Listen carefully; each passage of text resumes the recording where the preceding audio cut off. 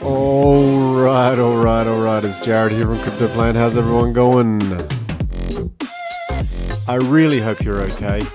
We had some amazing weather here this weekend in Ireland, and uh, hence why I've been off the channel. But I'm back, and I'm back with a vengeance because I've been thinking hard. I've been thinking hard about what to talk about because I don't know about you, but have you been just noticing that since the big Bitcoin correction and you know you know the altcoin following Bitcoin, it's just been a little bit of a zigzag, a little bit of a seesaw, and a little bit indecisive.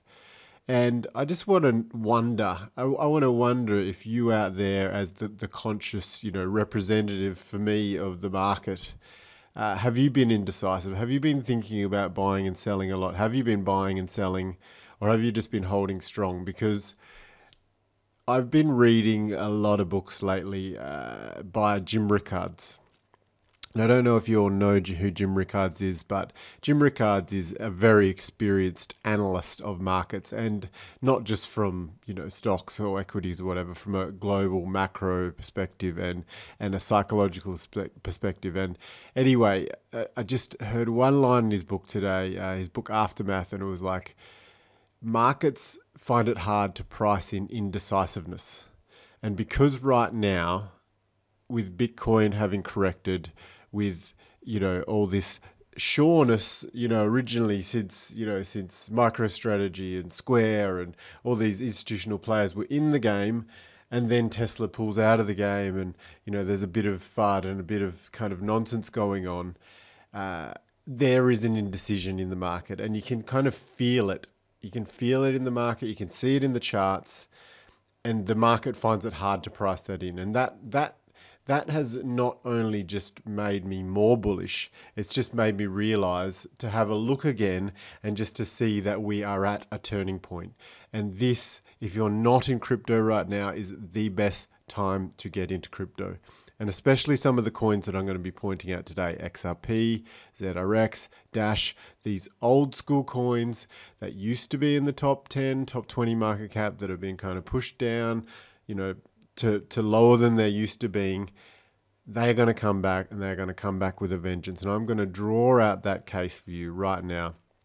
And just, you know, the reasons why we are still in a bull market. We have not even really been in a bearish trend inside a bull market. It is just a correction. And I'm going to outline that for you. And I'm going to start with XRP because I think XRP is going to lead the way. A lot of people are saying, and it'll be all tied to the SEC case and whatever, whatnot, but the market sentiment will drive it. And that's when, you know, is it the rumors of the SEC case coming through, or is it the SEC case coming through that causes the charts to move? No one will really know, but I do feel out there there's a lot of chat about it. At the end of the day, I like the charts. I look at the charts and I'm going to look at the long term trend in the charts, and especially the things that were happening before the SEC lawsuit. So stick with me on this one. Um, I'm going to try and make it fairly quickly uh, you know, wrap it up fairly quickly. We're going to start on XRP. You can see on this chart a long-term uptrend, right? So when you draw trend lines, three points of contact. So we've got a couple of wicks there, a wick here in March, and a wick here with the whole SEC thing, right? So that you know that SEC event gave us a long-term long-term uptrend line, right? So these this you know for me when the market dips below that line, we're back into a bear market, you know, so we're, you know, that's scary time. So we haven't got anywhere close to that since. Um, we have a new uptrend line that we've been following very nicely, you know, even with this kind of turnaround here. But what I am mostly focused on is this downtrend line. So during the bear market, we followed this, you know, cup correction, you know, the the kind of cup correction or the arc or whatever you want to call it. So, you know, a good few touches on the left hemisphere and a good few touches on the right hemisphere, you know, the overcorrection here, the SEC nonsense. Uh, but the main thing is this downtrend line. So from all time highs, one touch, two touch, three touch. breakout, backtest, right? So this is something that I'm going to show you in a lot of charts. You know, it hasn't happened in every single chart as perfect as this, but the reason why when XRP just recently dipped below 70 cents was the best time to buy XRP ever, you know, well, in this bull market anyway, is is the reason that, you know, this this thing is going to explode, you know, like all this has happened. So, you know, people people FOMOed in up here, you know, people held in here, sold in here, bought back in. So there's a lot of people that have held it for a long time this gets boring, this gets boring, this gets boring. You know, a bit of hope here, real lot of hope here, and then dreams shattered. So a lot of people sell out, but there's still some people that have held on, right? And then it pumps up, it holds on, they might buy a little bit more, then it pumps up here, and then it doesn't go any higher. And then the rest of them get bored. So by now, by this move here, every single weak hand is definitely out of the game. You know, all of this action here is the process of defining who wants to hold this thing for the extreme last 10% of the market, which is 90% of the move, right? So that's what's going on here. So let's just zoom in a little bit closer. We have had a bounce off off this flip of resistance. We've got this arc in play. So there's there's a couple of things we want to see. Um, by, you know, definitely by the end of November breaking all time highs, but I'm more concerned with this steeper trend line here. And I want to see the thing bounce off it and I want to see it bounce hard. And I believe that is going to happen. I don't have any, I don't have any like evidence or backing or, you know, this is just my opinion.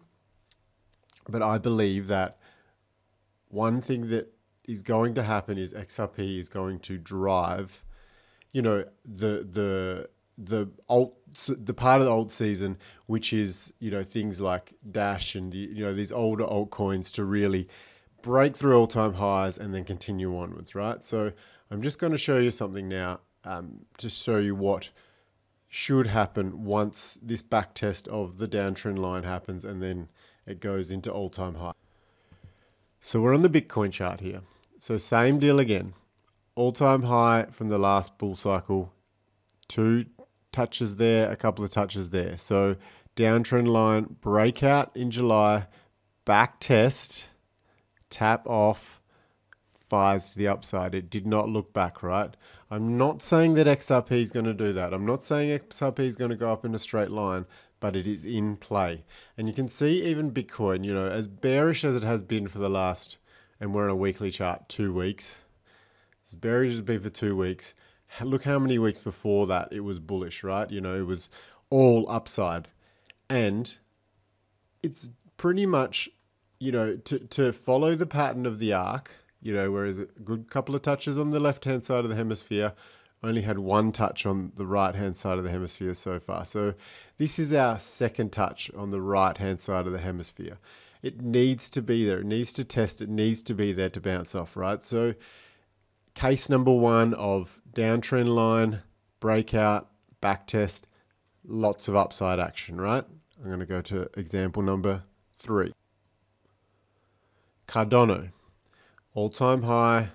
Didn't have as many tests here, you know, like a deeper bear market, but touch, touch, you know, a bit of action there. Breakout, double back test, and then what happened? Cardano just flew on out of there, right? So we all know the story with Cardano. If you've held Cardano, since down here, very good time. I had a fair chunk of it down in this region, you know, held it most of the way, you know, and have traded into other things. Now ZRX, probably the most similar to the XRP chart. One, two touches, three touches, four, five, six touches, breakout and backtest, right? So uh, going back to XRP, long downtrend line, double touch, breakout, backtest, right? So ZRX, very similar.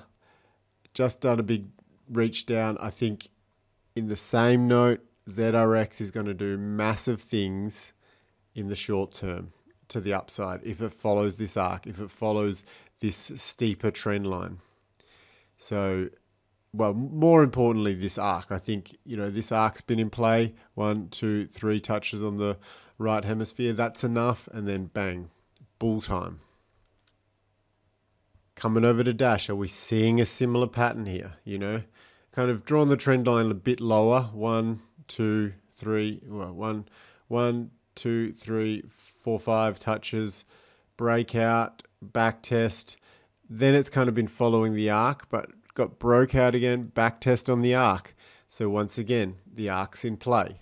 You know, we've still got this this lower trend line here, you know, this longer term, deeper trend line, which is telling us we're above that. So we're we're in the bull market, we're in an uptrend. When you know nothing bad has happened to the alt season. So once again, bullish. Just some indecision, just some fear, just some doubt, and uh, you know, once again, dash the best price right now, one hundred and eighty three dollars for a dash.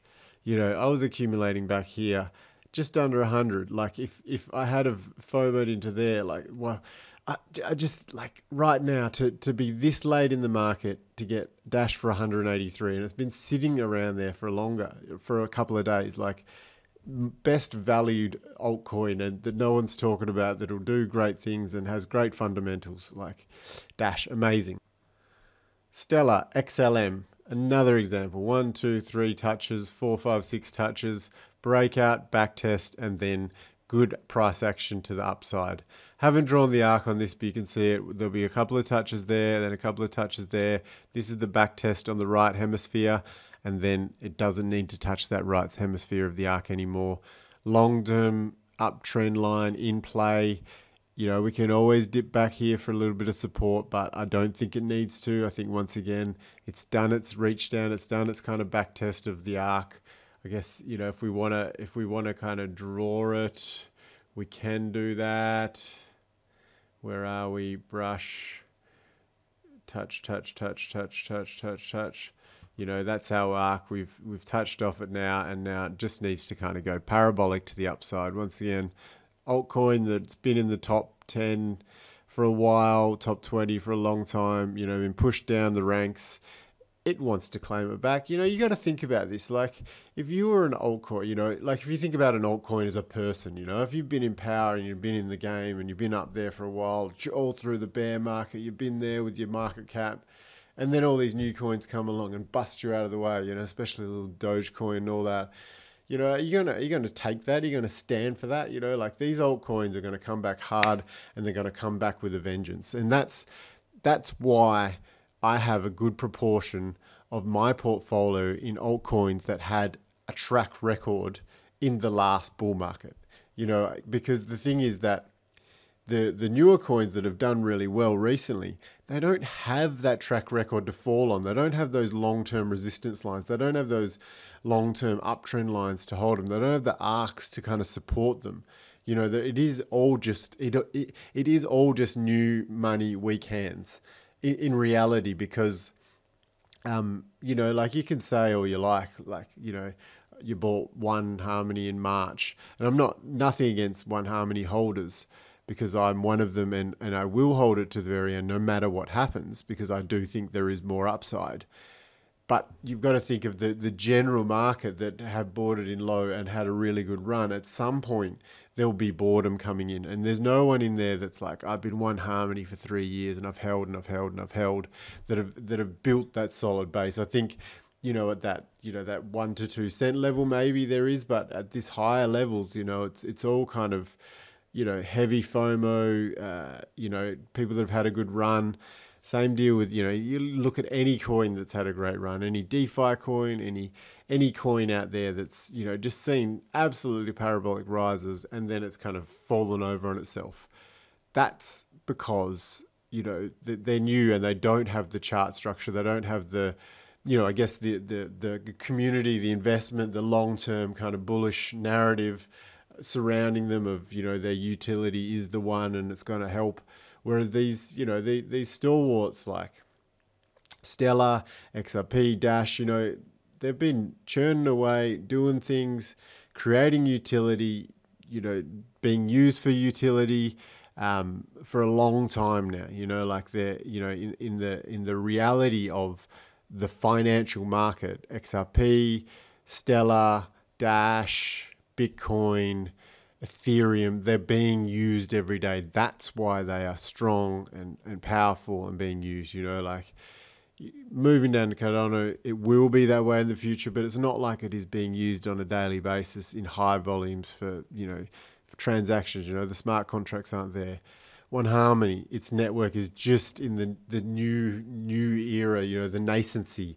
So you've got to remember that like as as bullish and as future projection projection there is and thought, you know, the, the ideas are there and the you know the platform and the roadmaps there these coins that have the utility and that have a real kind of network and community will do well eventually. You know, it's just that they, they are lagged because their their charts, you know, or their you know the people that buy and sell them or held them for a long time need to be sorted out. You know, the the pecking order needs to be sorted out, and they need to be in a position where they've tested and back tested and made sure that the people that are on the ride are the people that deserve to be on the ride.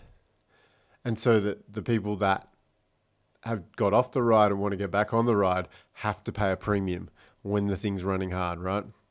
So just think about it that way, you know, and it's it's a that's a that's a little bit philosophical, that's a little bit uh you know kind of alternative, but you know there's there's this and, and once again, I, I recommend and I highly recommend you to read any of Jim Rickards' books.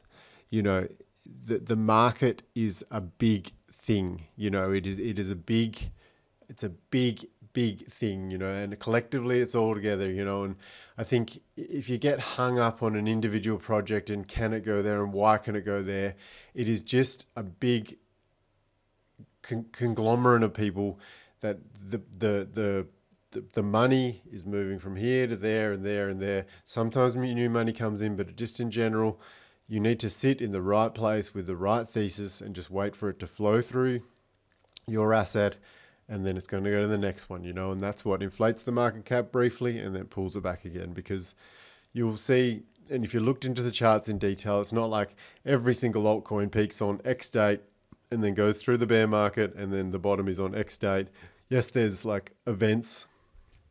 Yes, there's events that are like black swans that you can see a dip in everything. And yes, there's like times where, you know, Bitcoin does things that causes events in everything like the recent dip where everything dips at the same time. But over overall, each individual project or coin has its own life cycle. You know, there's there's similar patterns in similar kind of styles, but each each one has its own thing and they all fire at different times and to be chasing and to be wanting every single top in every coin and to buy every single bottom in every coin to sell every single top is is not is is unacceptable like you can't expect that you know it's it's nearly impossible you know unless you've got enough money to put a thousand dollars in every single project out there you know in somewhere in the bottom of the bear market, and then yeah, it's just you know it's it's impossible. So what basically what I'm trying to say is that the altcoins that have been there the longest will probably end up blowing your mind the most. Maybe maybe not on a true percentage gain. You know, I know that there's things out there like theta and, and same deal with one harmony where if you had a got it at point one of a cent and held it till you know even sold it at 24 cents the percentage gains are huge but they're like the odd example what i'm talking about is that like you know if you've held xrp from 20 cents and accumulated at that level or 25 cents even at that level once you know it fires to the upside and it does its full extension you know whether it be 10 20 30 dollars whichever number you want to pick out of your hat it doesn't matter which one it is because they're all lots of profit and they're all amazing returns on investment for such a short period of time. And they're ones that you can, you know, stand by for the long term because you know that if you hold an XRP, if you hold a Bitcoin, if you hold an Ethereum, if even if you hold a Cardano or a, a Stellar or a Dash, that there is some kind of utility, there's some kind of value there, no matter what its US dollar value is because you could swap that to somebody else to buy a good or service in some kind of market somewhere. You know, whereas a lot of other things out there, you're just trading them around.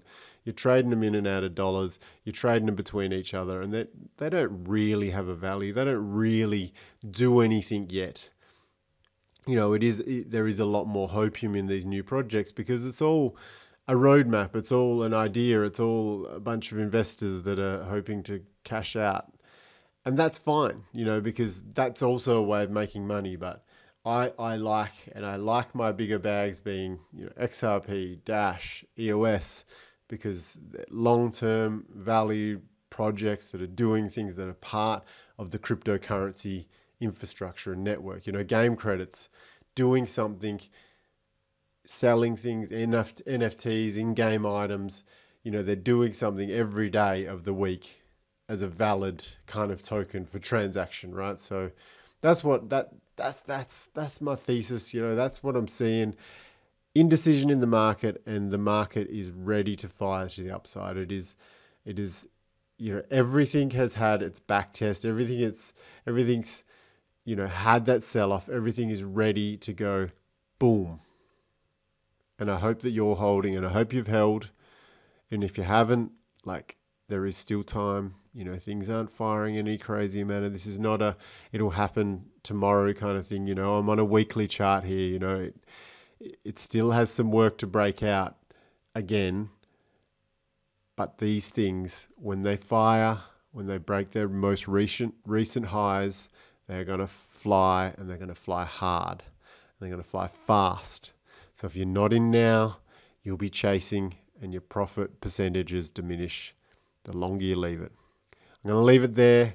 I've been Jared, it's been Crypto Plan. This is not financial advice. Please like the video, please subscribe to the channel, and please click the notification bell if you have stumbled across me as a new viewer. Stay safe, stay well, and I'll see you on the next one. Bye now.